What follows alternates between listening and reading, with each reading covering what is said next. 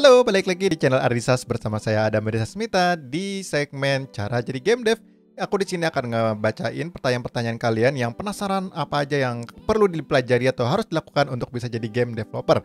Nah, pertanyaan yang paling sering muncul adalah game engine. Oke, pertanyaan pertama adalah kenapa kita bikin game pakai game engine? Jawabannya adalah enggak, kita bikin game bikin game engine sendiri juga boleh kok, silahkan gitu kan. Tapi baru sekitar mungkin tahun 2000 berapa belasan itu ya, uh, awalnya dulu tuh game engine itu berbayar dan mahal sekali. Sehingga satu-satunya cara adalah kamu bikin engine sendiri atau kamu kerja di perusahaan game yang sanggup bayar beli uh, license game engine yang mahal banget. Hingga suatu ketika game engine mulai gratis. Dulu pertama kali Unity tuh yang pertama kali gratis. Di situlah mulai berbondong-bondong banyak banget indie developer yang lahir karena menjadi lebih mudah bagi mereka untuk bikin game bisa langsung menggunakan game engine yang sekarang gratis. Apa sih keuntungannya pakai game engine yang udah ada dan gratis itu baik itu Unity, Unreal, Construct dan lain sebagainya? Itu adalah kamu tidak perlu mengcoding atau membuat ya teknologi-teknologi yang biasanya sudah banyak uh, dipakai di banyak jenis game.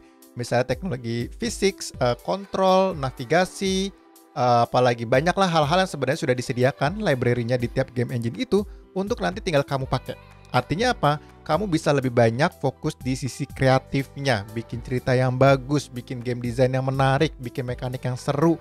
Semua yang berkaitan sama teknologi sudah bisa dipakai di teknologi game engine-nya dan itu gratis. Pertanyaan berikutnya adalah, pakai game engine apa? Nah, dua game engine yang paling populer saat ini adalah Unity dan Unreal. Tapi kalau buat pemula, aku akan menyarankan mulai belajar mungkin dari Construct. Kenapa? Karena di situ tidak dibutuhkan kemampuan yang cukup dalam dari sisi programming kamu bisa coba belajar bikin game, belajar logic dari game dengan metode drag and drop. Jadi untuk di awal bagus juga sih pakai construct untuk belajar at least pernah ngerasain apa sih yang harus dilakukan untuk bikin satu game utuh. Baru habis dari situ ketika kamu ingin mendalami lagi, pengen belajar pemrograman yang lebih dalam, barulah kamu milih pakai Unity atau pakai Unreal. Tidak ada game engine yang terbaik untuk semua jenis game. Setiap game engine punya kelebihan dan kekurangan. Kalau kita ngebahas mulai dari Unreal dulu.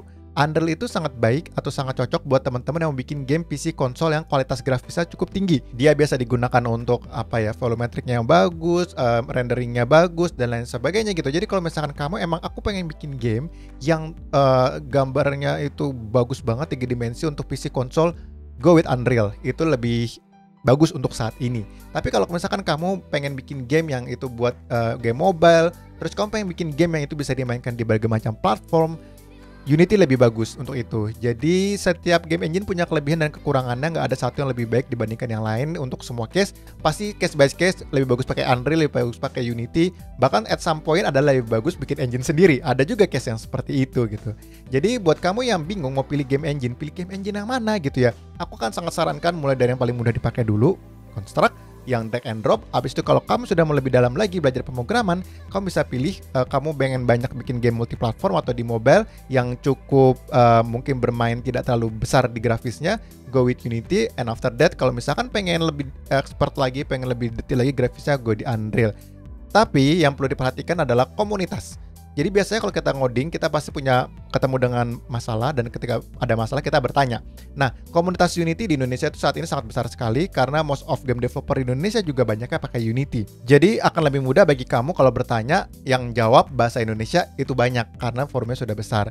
Unreal sudah mulai banyak tapi tetap belum sebanyak Unity. Jadi kalau misalkan baru banget belajar masih coba-coba, ya mungkin habis tadi dari Construct bisa start Unity dulu. Kalau udah pede dengan flow membuat game baru nanti masuk ke Unreal.